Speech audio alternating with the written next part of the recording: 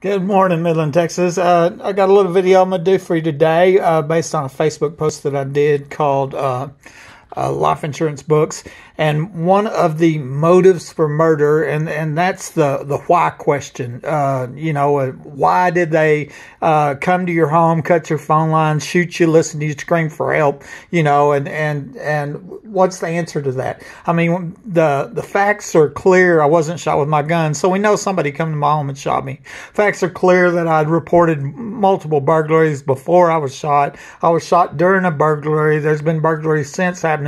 It's been massive corruption corruption and um, and obstruction of justice. What's been going on? But just to focus on on on this one thing on the life insurance books, I, am gonna uh, go over and, and, I've got it laid out in a Facebook post that I did this morning called uh, life insurance booklets.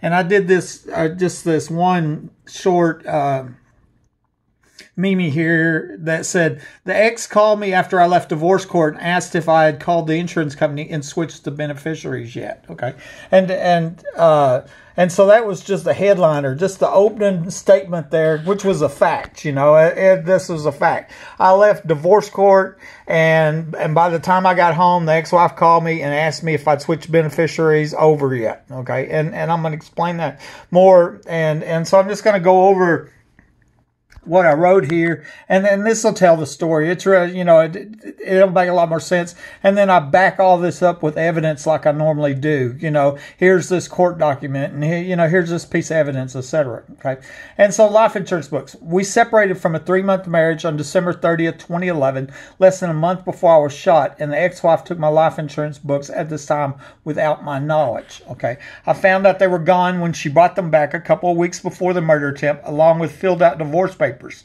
I filed for divorce five days before the murder attempt, but it wasn't final, so she was still the primary beneficiary. Okay, and and I believe the law, you know, basically says you can't move money, change anything until the divorce is final. Final. So legally, I don't think I had it. You know, I, I couldn't have changed, took her off as the beneficiary until the divorce was final anyway. And so uh, the fact that I filed meant nothing. So some people have suggested that she brought them back so she wouldn't have possession of them when I happened to die by accident. Okay, and and you know, and and so uh, if I would have died, you know, when they come to my home, cut my phone lines and shot me, and then her friend ruled this a murder, an accident, then uh, uh, if they checked, she wouldn't have she wouldn't have had possession of the books because she brought them back to me, and that's when I found out that she'd taken them. I didn't know she'd taken them. Okay, when we separated, less than a month before I shot. These books showed that if her lifelong friend, MPD Detective Rosa Rodriguez, would rule my murder an accident, then she'd get around six hundred fifty thousand dollars in cash and assets and instead of getting nothing from a short marriage ending under allegations that she's working with the prostitution ring. I paid for AD&D policy, which was an accidental death and dismemberment benefit that would add two years' pay and $250,000 if I happened to die by accident before the divorce was final. That was in the books that she took. Okay. The big prize was my paid for home, which people have said had, multiple people have said, had tunnels under it and is near a million dollar underground facility, actually four three bedroom homes costing a million each that's suspected of hosting prostitution, the, the, the Permian Basin And international Oil Show prostitution parties, and also the woman on the phone was recorded saying pedophile parties. Okay.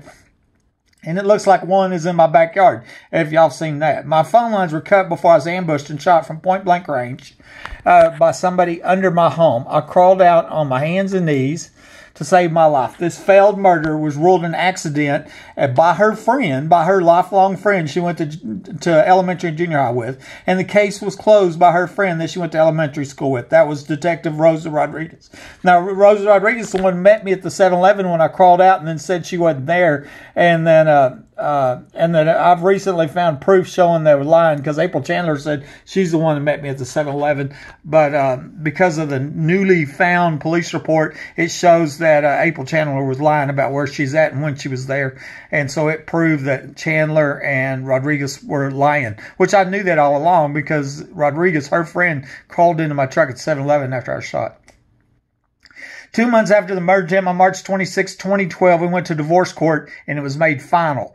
When I got home from court that day, I got a call on my company cell phone number 432-209-6494 from her asking if I called the insurance company and switched over the beneficiaries yet. But I but I'd called them as soon as I left. The phone records will show this call. And that's the reason I put the number there. You know, I, I'm all for legitimate law enforcement going, well, let's check Buddy's story out. Let's check them phone records out, see if she did call. Well, she did call because old Buddy's story's checked out and checked out and checked out and checked out and checked out. This is a premeditated for-profit capital attempted murder, all kinds of evidence.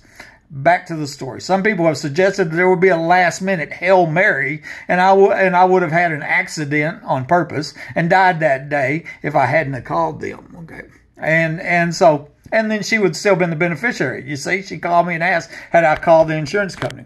Okay, I was telling my brother's wife, uh, Mitzi Webb, about these insurance books on a phone call after I shot, and she told me that she saw my books while they were gone from my home in that three week period. I don't know how, when, or where, but I'm sure of her saying this.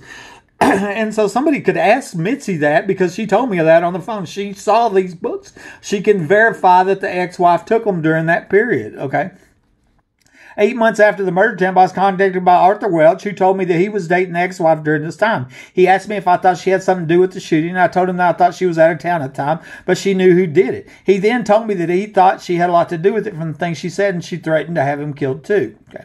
And, and that's not a, he said, you know, Buddy said, Arthur said that. I've got a copy of it. My attorney submitted a copy of this conversation into evidence at the protective order hearing in December 2013. She did confirm under testimony that Arthur was her ex-boyfriend. Now, if you remember the protective order hearing that she filed, uh, was 18 months after the murder attempt. I hadn't seen her, talked to her in a year and a half, and she lived over 100 miles away. Some people just thought that was absurdity to have a protective order for somebody you hadn't even seen or talked to in a year and a half. It's based on two non-threatening emails sent in a year and a half. And, um, but anyway, a copy of that conversation with Arthur Welch, where, and, I'm going to show you a, a, a picture it here in a minute. I just recently saw in the police report from the night of the murder attempt, which had been withheld from me for seven years. Okay, that's what causes secret police because I, I had pictures of police and I didn't have a police report showing that they were here because they were illegally withholding that police report from me, even after it was subpoenaed. You know, it was subpoenaed before court and it was withheld.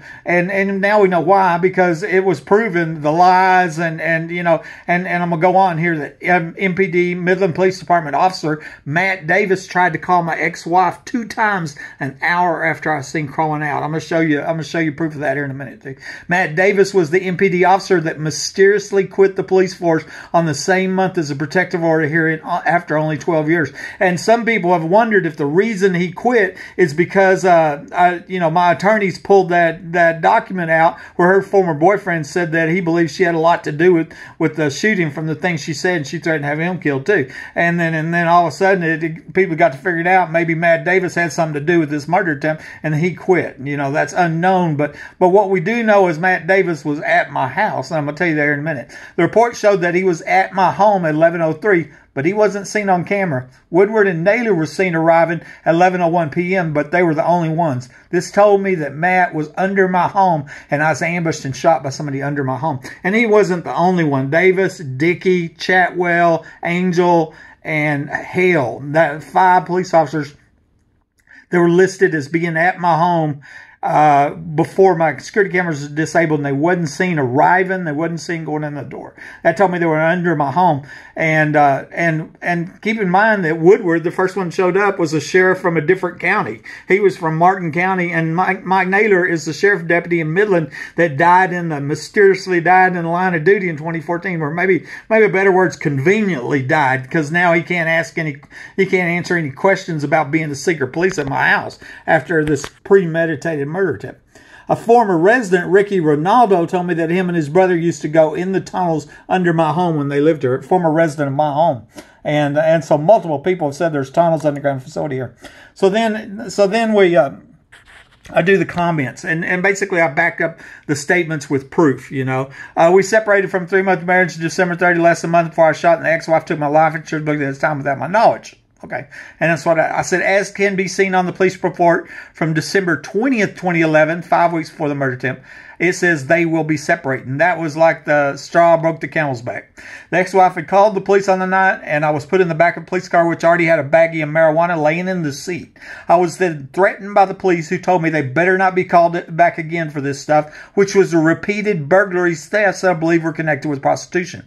After the police left, the ex-wife tells me, we're creating a document trail on you. And Danny said that we'll just take your house. This happened 10 days after, before she moved out and five weeks before I was ambushed and shot. Burglar alarms were going off before I was shot, but I didn't call the police because I'd been threatened with being framed by these corrupt police from that night. Their names were Blake Bush and Trent Sellers. Obviously, my murder was planned weeks in advance, which explains the document trail comment. My guess is they created a document trail on the last homeowner before he died by accident. And that's another story on Mike Lawhon, but remember, when I first looked at this house, they told me he was incarcerated for drugs. I had no reason to question, and I would never think that police framed him, put him in the back seat of a car that had a baggie of pot in there, and then they were creating a document trail so that they could murder him. I would have never suspected that. Okay, here's the date, 1220. Someone has been getting in the house. Okay, that's what he's saying that. Yes, that's what's happened. Blake Bush, Trent Sellers, this is 12 2011, and they will be separating outside the house, you know. And and and one thing's interesting here. If you look at this last comment on there, that's the night I shot. They come back and put a reference comment here, uh, just uh, you know, within an hour after me being shot. I got a video on this right here, uh, where where they, I believe this was the document trail right there. And so, first comment, second comment. I found out they were gone when she brought them back a couple weeks. That was the life insurance books. And before the murder attempt, along with filled out divorce papers, I filed for divorce five days before the murder attempt, but it wasn't final, so you're still the primary beneficiary. That's what it said above. Some people suggested that she brought them back so she wouldn't have possession of them when I happened to die by accident. These books show that if her lifelong friend, MPD Detective Rosa Rodriguez, would rule my murder an accident, then she would get around $650,000 in, in cash and assets instead of getting nothing from a short marriage ending in allegations that she was working with a prostitution ring. I paid for an AD&D policy, which was an accidental death and dismemberment benefit that would add two years' pay and $250,000 if I happened to die by accident before the divorce was final. That was in the life insurance booklets. This is a screenshot, okay? And at the top, I say accidental death added a, a half million. I have a basic accidental death and a supplemental accidental death, and it adds two times annual base pay and 250 $50,000 employee and, and, and family. So basically, the books that she took without my knowledge, right, you know, less than a month before I'm ambushed and shot in this murder attempt, showed that if, if my murder was ruled an accident by her lifelong friend, it would add almost a half million dollars to, to the existing uh, million of assets. Okay. and then in court, before we go to court, we notice that Detective Rosa Rodriguez is sitting over there with the ex-wife, all buddy buddies, and my and my attorney, you know, uh, just asked out of the blue in court, "Do y'all know each other?" And two years later, come to find out, oh, they're lifelong friends, childhood buddies. They went to elementary and junior high. This was a question in court. Are you familiar with the ex-wife? Uh, yes, ma'am. How do you know her? I've known her. We went to school and and and I guess uh, elementary and junior high. So here's Detective Rosa Rodriguez that met me at the 7-Eleven when I crawled out after being ambushed and shot. Right, one of the main players here, and and uh, actually she's the one that closed this case. She testified that I was delusional in court. This is her buddy Rosa Rodriguez, and come to find out who's the, who's who's her friend, her lifelong friend, and and you know, and if her friend rules my murder and accident, then it adds another half million dollars. Okay, so that's what the point of that is. The big prize was my paid for home, which uh, which have been said by had tunnels under it and is near a million dollar underground facility that's suspected hosted prostitution and pedophile parties. Okay, and I'm only doing one graphic here, but there's multiple. There's recorded phone calls, other people's uh, screenshots. But you know, this conversation is with a person named Rhonda Denman Rogers, and I'm saying my home sitting on top of some underground facility, which is very important, or at least near this facility. And Rhonda Denman Rogers said, "Yes, I know it's a half block away." She didn't say it's 2.5 blocks away. She didn't say it's five five blocks away. She knew exactly where it was, a half block away. And and actually, the woman on the phone said there's four three bedroom homes, 25 foot deep, each costing a million apiece. Now, and I, I believe, based on Google Maps, one of them is probably in my backyard. And that might be where that young girl was murdered at the 2010 Oil Show party, because I believe them parties were going on there. Moving on. My phone lines were cut before I was ambushed and shot from point blank range by somebody under my home. I crawled down on my hands and knees to save my life. This failed murder was ruled an accident, and the case was closed by her friend that she went to elementary school with, Rosa Rodriguez, Detective Rosa Rodriguez. And this is a, a picture that's right from my security camera, okay? And you'd see me crawling out. Now, the reason I crawled out is because my phone lines were cut. You know, I had no communication. My cell phone had been stolen, my phone lines cut. And what this uh, graphic is flashing up there on the screen, what it's saying is, is MPD officers Davis, Dickey, Chatwell, Angel, and Hale were shown to be at or in my home, but not seen on these cameras. The one that's taking this picture right here. Uh, uh, which told me they were under my home. The evidence shows that somebody under my home shot me by surprise. Okay, and and so that's the uh, the next comment. Eight months after the murder attempt, I was contacted by Arthur Welch, who told me they was dating the ex-wife during this time. He asked me if I thought she had anything to do with the shooting, and I told him that I thought she was out of town at the time, but I knew, uh, but but I thought she knew who did it. He then tells me he thought she had a lot to do with the things she said, and that she threatened to have him killed too. Okay, this is court testimony. This was this was submitted in in the protective order hearing in court. A copy of this from uh, a, a, Facebook private message, and I didn't know Arthur Welch. He just contacted me out of the blue eight months after I shot. He says, "Do you think she had anything to do with the shooting?" I dated her for a short time here in Lubbock and she threatened to have me killed. Okay. And I said, I'm pretty sure that she was in Lubbock at the time, et cetera, et cetera, et cetera. Arthur Welch says, Well, I think she had a lot to do with it from the things she said, and I'm so never will trust her. Okay. And so, and once again, that's not Buddy saying he said. I, I, mean, I got a print screen, and and when it come out in court testimony, she she uh, you know, of course, she was surprised that we had that, and then but she admitted that yes, that was her boyfriend. Okay. I just recently saw in the police report from the night of the murder attempt, which had been withheld from me for seven years, that MPD officer Matt Davis tried to call my ex-wife two times an hour after I seen crawling out. Okay, and this is just part of the of the long withheld police report from the night of the the murder attempt. Okay, and and at the top you can see where I added in at 2342, MPD officer Matt Davis tried to contact my ex-wife twice. That's down here on the bottom, 2342 per 2862, which is Matt Davis, tried to contact Mrs. Webb, uh, who was the ex-wife, and on previous calls, a no answer with two attempts. Okay, so so I found that very interesting, and this and I crawled out at 10:42 and 11:42. Matt Davis is there trying to. Now remember, Matt Davis is on scene at my house at at uh where where we at 1103 right here. Okay.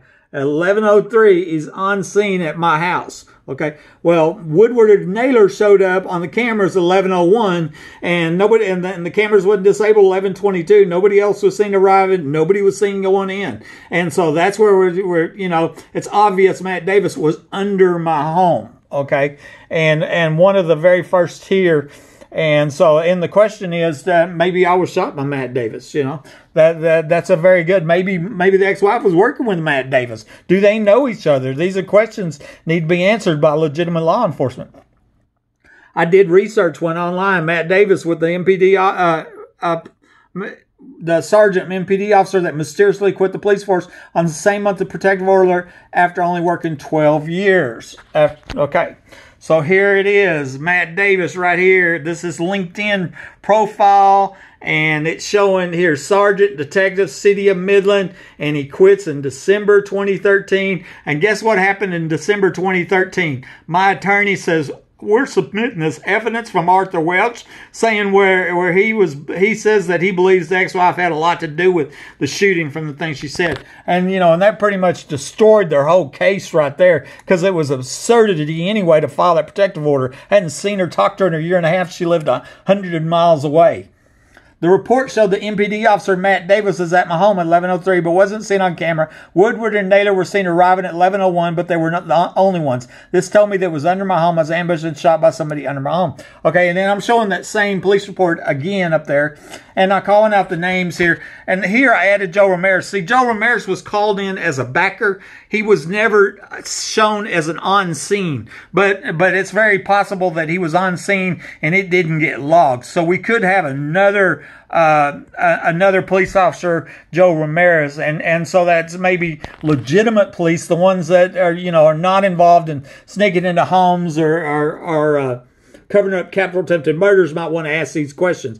And this is when the cameras were disabled at 1122. Now remember, the Naylor and Woodward arrive at 1101 and 1122. The cameras are disabled. Nobody else was seen arriving and nobody was seen going in the door. But we got these five or six officers that are listed as being at or in my home and they're not seen on camera. That's what told me they were under my home. Okay. And then now, so let's go. A former resident, Ricky Ronaldo, told me that him and his brother used to go in the tunnels under my home when they lived here. Now, keep in mind, about two weeks before I'm ambushed and shot, I, I contacted the El Paso DEA, then the Midland DA, and I reported a suspected smuggling tunnel to this house. Here's what Ricky said. I used to live in that house years ago. I'm like, oh, yeah, you know? He says, yeah, when I was a kid, there were tunnels under the house. Me and my brother would always go down there. Okay, this is where obviously Davis and Dickey and and them other police officers how how come they were in or at my house but they were not seen. They were under my house and very possibly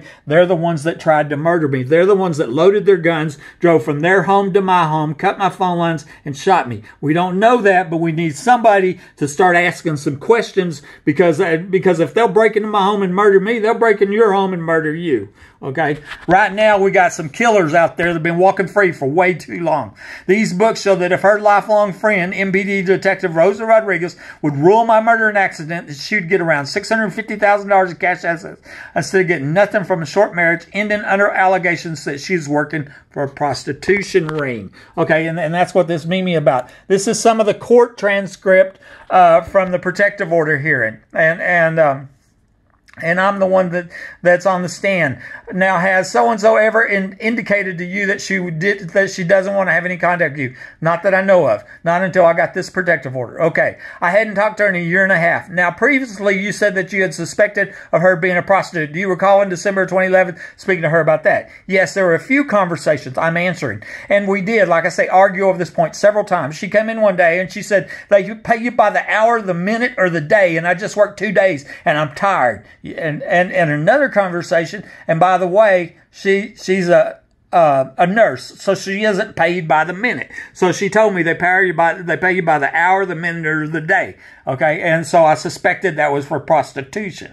Also, if you want to say accused her, accused her her breath of smelling like semen, you know. And then another on another conversation that was referenced in the order was, oh, I want to know who the pimps, the tricks, and the drug dealers are. And she said it's a family business. Okay. Now, now keep in mind that uh, I found out later uh, from her actually that her brother-in-law was the uh, ER doctor at the hospital, and that's when the X-rays were faked. And remember, she's the one that told me a couple weeks, you know, while I was still married, that um, the secret is a group of doctors are killing people for profit. And another interesting thing is, I was down at the courthouse and I was looking at property records uh, for the deed history of, of this house and the other owners in this, uh, you know, in my small cul-de-sac, and I've noticed that the um, that the builder of my house, Tabor Construction, had an address on Mark Lane. And so I went and looked up the deed history for that house and come to find out the ER doctor, her brother-in-law or my brother-in-law, uh, used to own the same house as the builders of my house. And so that made me wonder if he knew about this home being rigged with hidden access and then used for crime and racketeering and murder and, and human trafficking and all that. Okay. That's another story. Okay. And then the last post, and I'll end this out. I think we can all agree that since I wasn't shot with my gun, then somebody came to my home and shot me. That is capital attempted murder at your home, and it's capital attempted murder at my home. See, the law can't apply just at one home. It has to apply to all homes. They loaded their guns and drove from their home to my home to murder me. Here's just some proof of this fact. The, si- the size of pellets removed from my foot per the lab were 2.5 sizes different than what was in my gun, proving that I wasn't shot with my gun. Okay, so so that's that's enough to be used in court right there. That's ballistic evidence. The surgeon reported that he removed a large amount of plastic from my foot, which would not be found had I been shot with my gun. Once again, Lisa Rogers stated I shot with a 45 handgun. Remember, these corrupt police are trying to say I shot with a 12 gauge, and that's not what happened. Triple proof shows my x-rays were faked at the hospital. I have videos and proof on that. A group of corrupt police were caught on camera covering up the murder attempt. Took six years and $2,000 to get them identified. That never happened before in the history of America. Crime victim had to offer a reward to get police identified. Arthur Welch tells me that he believes the ex-wife had a lot to do with shooting things she said, and she threatened to have him killed too. I reported somebody in my attic to the police a year before I was shot with burglar alarms going off in my attic, and now people all over Midland, Odessa, many other states are reporting these same unique crimes. And remember, I've got recorded police scanner calls and emails and phone calls uh, showing that. I reported suspected tunnel to the DEA from phone number 432-209-6492 two weeks before I was ambushed and shot by somebody under my home. Now multiple people are documented saying that tunnels and or underground facilities near my home. One person was secretly recorded saying that four three-bedroom homes, 25 foot deep, each costing over a million each were here, and they were having pedophile parties there. That's a video called Million Dollar Underground Homes. It's a recorded phone call. And what I have here is a lab report from the hospital, okay, from my medical records, and it's showing that the the 0.3 si- size it was centimeters was the size of the pellets removed from my foot. Here's here's the uh, the shot shell. This is actually one of my shot shells right here uh, that that was turned over to the uh, uh to law enforcement, and so they have they have that now. And you can see here it's two and a half sizes different. And so basically, what that this is only one piece of evidence, but you know what it comes down to. Like here, you got a guy with a 22, and here's a guy over here shot with a 45. Did the guy with 22 shoot the guy with 45? No, we know that because of ballistic evidence. Was I shot with my gun? No, because ballistic evidence proves it, and that's only one piece of evidence. This this is just. Uh, the amount of evidence here is to the level of absurdity. This was a premeditated, for-profit, capital-tempted murder, and and and uh, it's time to restore uh, rule of law. Uh, it, I mean, we're harming the the trust in our police force and our justice system by this obstruction of justice. Buddy Webb, Midland, Texas.